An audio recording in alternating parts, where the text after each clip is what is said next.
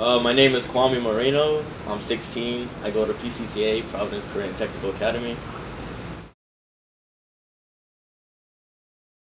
Uh, the questions on the survey, they were pretty good. They were broad, they were general. They got to the point. Um, they had questions that teenagers should know and what their parents should have told them.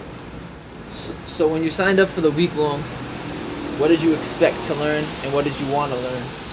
Um, I expected to basically refresh my memory on the topic about sex and what we should know and what we should practice safe sex.